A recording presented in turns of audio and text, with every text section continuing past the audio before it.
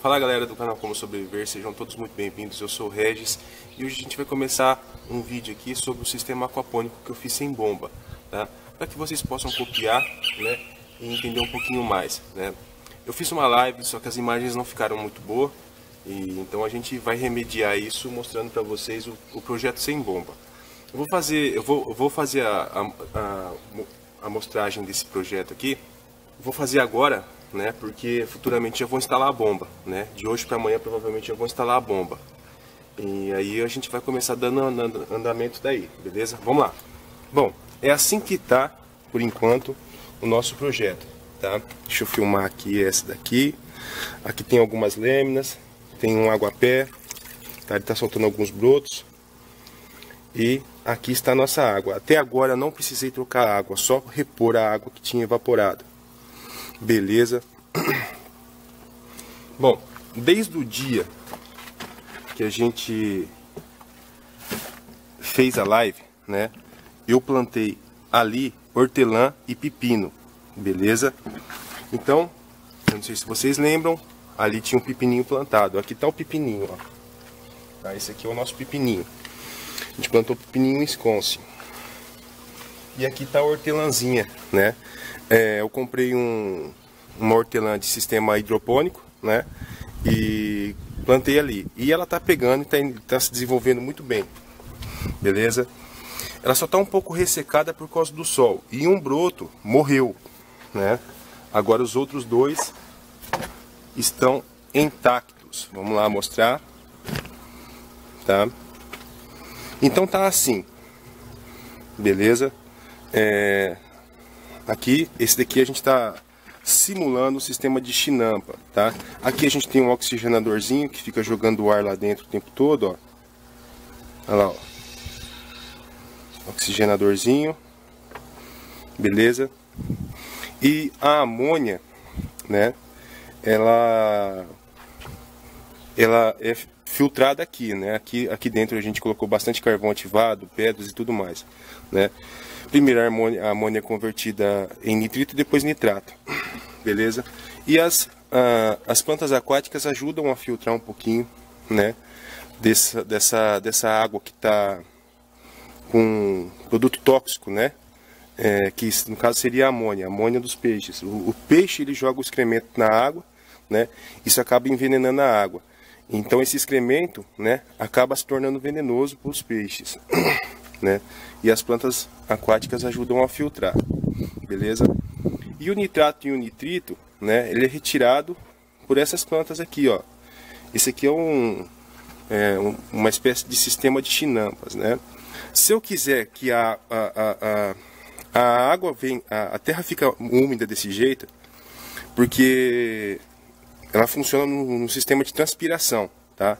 Ela vai transpirando para cima e deixando essa parte de cima úmida, beleza? Bom, vamos supor que essa, que essa terra esteja encharcada. O que, que eu tenho que fazer é levantar um pouquinho, né?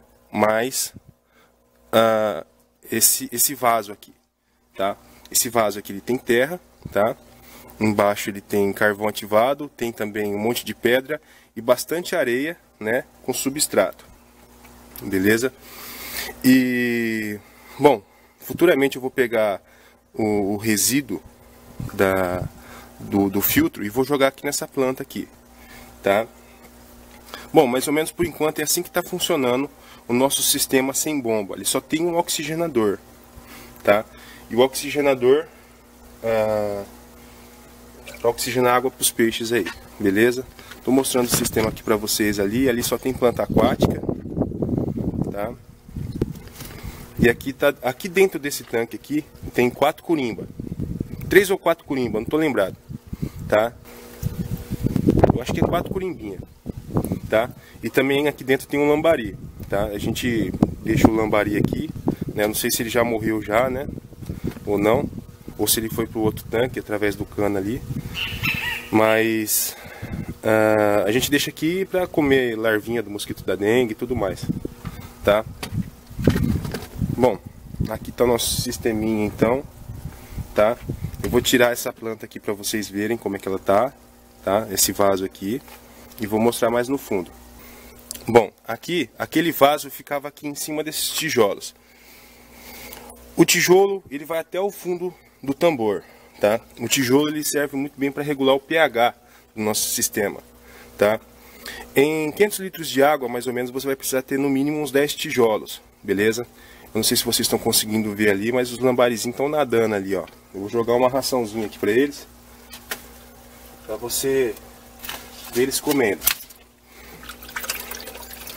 Dá uma chacoalhadinha na água e vamos soltar um pouquinho de ração para eles aqui. Olha lá.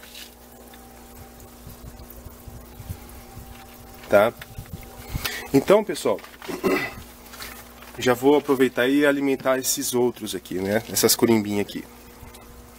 Tá? Só que as corimbas, enquanto a gente tiver aqui, elas não vêm comer. Tá? Elas são muito arisca mesmo. Bom, feito isso, né? Eu vou mostrar aqui o sistema aqui de novo para vocês, tá? Bom, o vaso de planta nosso tava aqui em cima, certo? E bom, se a água tiver muito se a terra tiver muito úmida, o que que eu faço? Eu eu ergo mais um pouquinho, tá? Porque daí o sistema de, de, de, de evaporação não funciona tanto. Ou se não, eu posso diminuir o volume de água, tá? É uma sugestão também. Beleza?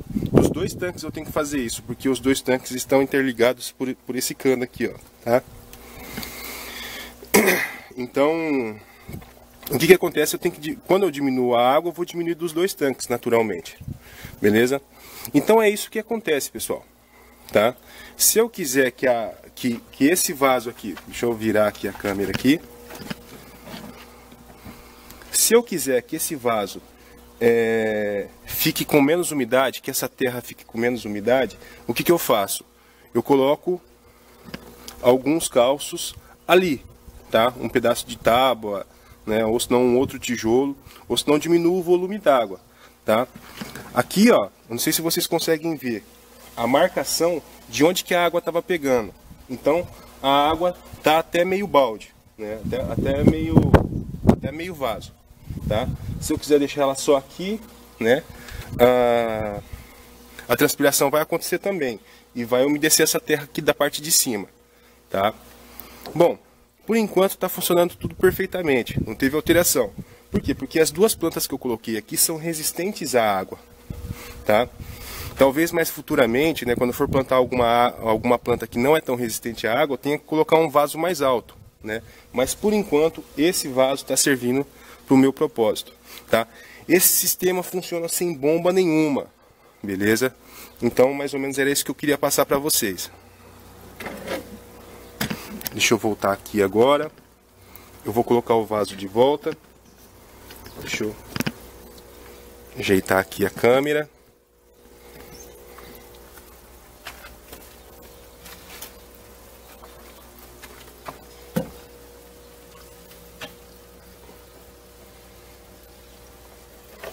Prontinho. Aí o vaso não cai, ele não se mexe, não fica se movendo, né? E ele está servindo ao nosso propósito. Beleza? A minha hortelã que morreu foi essa daqui, ó. Eu plantei ela e ela não pegou, tá? Mas eu acho porque a raiz dela estava muito curtinha, muito pequena. E tudo que eu plantei aqui está se desenvolvendo perfeitamente. Não teve alteração nem mudança, tá? Bom, por enquanto, pessoal, não encontrei é, larva de mosquito, nem nada do gênero, tá? Não tem nada de mosquito aqui, tá? Se bem que tem a piscina para eles botar, né? Mas a piscina é tratada com produto químico, né? Então, no caso, eu acho que aqui seria a melhor escolha para os mosquitos da dengue, né? O Aedes aegypti, botar os seus ovos. Mas ele não faz isso, por quê? Porque tem os peixes aqui. Se o mosquito botar o ovo dele aqui, ele vai perder o ovo, né? Porque o, lambari, a, a corimba vai comer aí a larva dele. Beleza. Então, mais ou menos, era, era... Tipo assim, esse vaso, não posso ficar mudando ele muito de lugar, tá? Por quê? Porque eu coloquei muita areia nele, tá? Eu coloquei duas partes de areia e uma parte de substrato, né? É, para que a drenagem fosse mais rápida também, né? E para que o enraizamento também fosse mais rápido, tá? É, no caso seria isso. Bom, essa peça aqui funciona como se fosse uma espécie de filtro para água, tá? Então ela vai... Uh, por quê? Porque lá embaixo tem um monte de pedra, bastante pedra colorida. Dentro desse vaso aqui eu coloquei bastante pedra colorida, tá? E bastante pedra branca também, aquelas pedras de aquário, tá? Dentro desse vaso aqui, desse vaso dessas plantinhas aqui. E é, isso daí vai mineralizar a água, né? O suficiente, pelo menos é o que a gente imagina, tá? É, com o nutriente que ela precisa e também vai, vai servir como se fosse filtro biológico, né? Para converter amônia em nitrito, depois nitrato, tá? Aqui eu fiz outro filtro. Deixa eu alcançar aqui o filtro para vocês. Vou puxar ele aqui. Aqui dentro tem pouco tijolo, tá? Ó a corimba batendo aí. Ô, oh, coisa boa. Corimbinha Aqui é um filtro que eu coloquei dentro de um pano. Aqui tem bastante carvão, tá? E bastante pedra, pedra colorida, né? E bastante pedra branca também para dissolver na água. Aquelas pedras de aquário que você compra em aquário normal, tá? Então, mais ou menos está sendo a função, né? Tudo aqui não deu problema em nada. Tudo que eu adicionei aqui não deu problema em nada, tá? Temporariamente está desse jeito, tá? Primeira vez que eu vejo a corimba bater né? A corimba batendo aqui. Bicha bonitona, hein, fi? Bicha tá ligeira também. Ó, sistema de oxigenação funcionando perfeitamente, tá? Vocês estão vendo que tá sem bomba, só tá com oxigenador. Não teve alteração por enquanto, tá? E tá desse jeito, apresentação do meu sistema sem bomba, tá? Aqui eu gastei em média, acho que foi 250 reais, né? é, foi os dois tambores, né? É, esse daqui, esse oxigenador é de um amigo meu, preciso devolver, até colocar a minha bomba, né? É, e colocar alguns oxigenadores Venturi aí, né? E, bom, por enquanto está se desenvolvendo tudo perfeitamente. Eu poderia ter colocado um vaso desse aqui nesse tanque, tá? Só que eu decidi não incomodar as curimbinhas, nossa, né? Ah, deixa as curimbinhas mais à vontade, com mais espaço para se movimentar, tá? E, bom, quando eu for montar todo, tipo assim, eu vou montar esses tambores daqui até lá na frente, né? Eu vou colocar aqui 10 ou 12 tambores, beleza? E a maioria deles eu vou colocar um vaso desse jeito, tá? Mesmo tendo é, sistema de circulação de água, tá? É, e sistema de oxigenação. Tá? Eu vou colocar uns vasos desse aqui para ajudar na filtragem da água. Ó, eu tentei copiar o melhor possível o, o, processo de chinampas, tá? Inclusive eu vou mostrar algumas imagens para vocês de como os índios é, é, faziam né, chinampas dentro de lagos, né? E eu tentei copiar isso, né? Eu vou passar essas informações para vocês.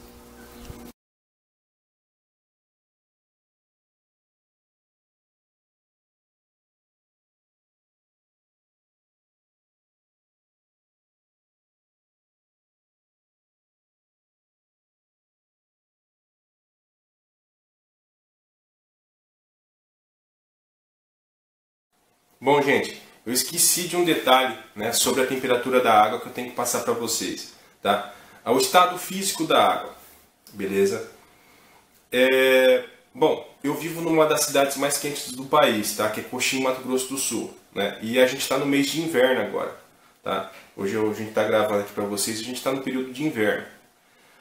E por incrível que pareça, né, a temperatura da água não baixou de 19 graus Celsius. Tá?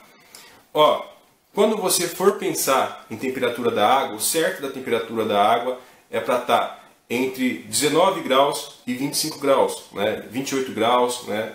É, e por aí vai, tá? Acontece o seguinte, né? É essa temperatura ideal para quê? Para que as bactérias que tenha dentro do sistema se desenvolvam bem, tá? E se as bactérias se desenvolverem bem, o que, que vai acontecer é que a retirada da amônia e do nitrato do nitrito vai ocorrer com, com mais facilidade. Tá? Quanto mais bactérias boas tiver dentro do seu sistema, melhor. Tá?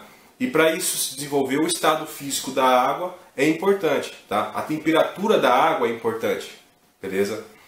Então, a minha preocupação mesmo na realidade, como eu vivo numa cidade muito quente, é que a temperatura fique acima de 28 graus. Né? É, então, quando ela estiver acima de 28 graus, eu vou ter que montar um, sistema aí para resfriar o tanque. Tá? É, eu estou pensando em, em, fazer um isolamento térmico muito bom em volta dos tanques, né, em volta dos tambores né, e dos tanques também, que eu vou colocar futuramente. E também fazer um sistema ah, de passar a água por debaixo da terra né, para resfriar a água e voltar de novo para o tanque. Beleza? Mas isso eu vou pensar mais para o futuro. Por enquanto não tem nem condição de fazer isso. Primeiro eu preciso montar um sistema para depois adaptar isso daí. Tá? Mas a temperatura da água, por enquanto, no inverno não mudou. Tá? Eu acho que as bactérias estão se desenvolvendo muito bem lá. Eu não precisei medir pH por enquanto, não precisei medir nada. Tá? Não me deu indício de nada que esteja acontecendo de errado dentro do tanque. Tá? É, os peixes estão bonitinho lá, estão tudo bem. A gente está alimentando uma vez por dia, né? E por enquanto está funcionando lá, tá? Bom, agora eu vou falar para vocês sobre os índios mexicanos, tá? Os índios mexicanos, os mexicas, né? É, é eles se situavam ali na cidade do México mesmo, tá? Ah, eu não sei se é Inca, Maia, eu esqueci, tá? É, mas eu lembro que um dos reis deles lá, né, da época lá, um, um dos líderes deles lá era Montezuma. Então, é só isso que eu lembro, tá?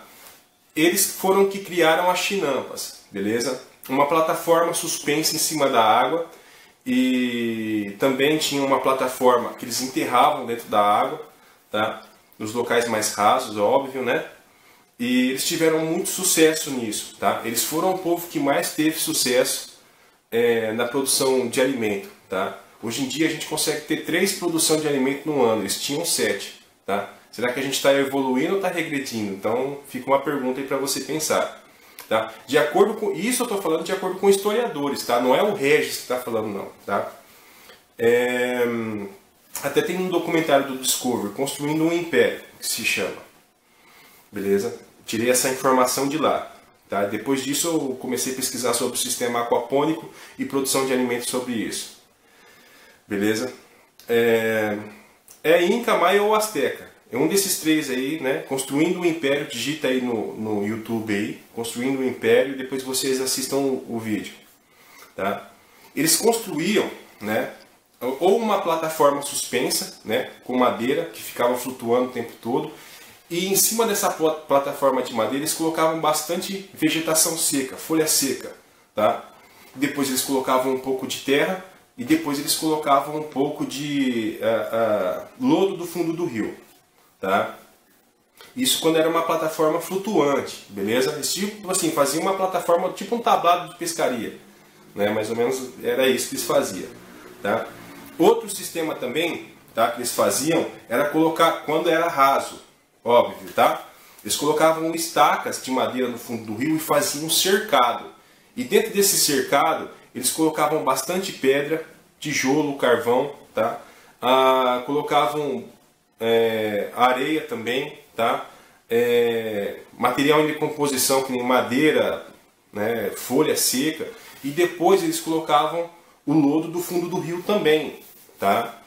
E aí eles plantavam dentro desses, né, desses curraizinhos que eles faziam, né, fechados. E a produtividade de alimento era gigantesca, tá? Hoje em dia a gente pode ver que o sistema aquapônico é o mais bem sucedido da face da Terra. E por quê? Porque não, não, não tem agrotóxico, é o meio natural de você produzir e produzir em grande quantidade.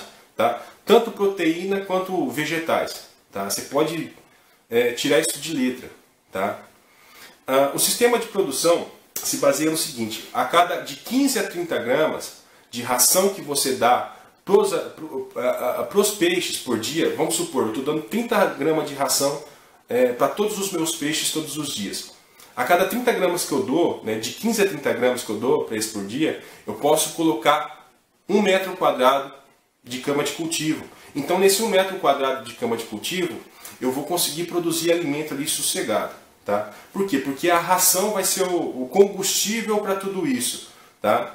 O peixe vai comer a ração, vai ficar grande, depois eu vou consumir o peixe, né? O peixe vai soltar um excremento dentro da água, esse excremento vai é, é, é uma amônia, né? Ele vai se converter em primeiro em nitrito, depois nitrato e a planta vai absorver o nitrato. Então é um ciclo biológico. A planta filtra a água e o peixe, né, solta o alimento para a planta. Ao mesmo tempo, né, que a água fica mais limpa para o peixe.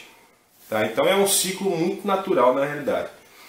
Então, aprender sobre aquaponia é um dos meios mais autossustentáveis né, uh, que a gente pode ter tá? em produção pequena em casa. Tá? Vocês viram que eu não gastei uma fortuna. Tá? Com isso daí já dá para você começar o seu sisteminha. Beleza? Não é difícil, não é chato. Né? Com um tambor de 200 litros e um vaso de planta, você já pode ter ali os seus lambarizinhos ali. Tá? Ou senão você pode ter suas tilapinhas ali dentro do seu tanque tá? E você precisa de um oxigenador também, tá? Só isso daí já é o suficiente, tá? E depois você vai aumentando, tá?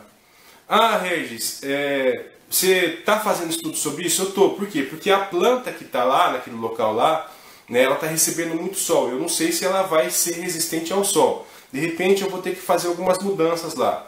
Tipo, colocar um, um, um sombrite em cima das plantas, né, para não receber tanta luz do sol. Porque aqui o sol, aqui em coxinha aqui, bicho, é um sol para cada um, meu irmão. Tá? Aqui faz 40 graus na sombra essa bexiga aqui. Então eu vou colocar um sombrite lá, de repente, vou colocar é, uma planta que é mais resistente à umidade, né? É, eu vou ter que estudar esse negócio aí, tá? E estudar e adaptar, conforme for acontecendo. Mas eu sei que funciona por quê? Porque os índios no passado já provaram que isso funciona. Tá? E se eles sabiam fazer esse negócio funcionar, por que, que eu não vou conseguir? Né? Então, desta forma, eu vou desenvolvendo. Mas você também pode desenvolver na sua cidade. Às vezes não está dando certo porque você está colocando no lugar errado, onde que recebe muito sol. O certo de uma planta hortaliça, né, ela deve receber de 4 a 5 horas de sol por dia. Né? Depois eu vou ter que dar uma olhada para ver quantas horas do, de sol por dia. E, tipo assim, não pode ser o sol do meio-dia, né? Quantas horas por dia essas plantas estão recebendo né, de, de luz solar. Tá?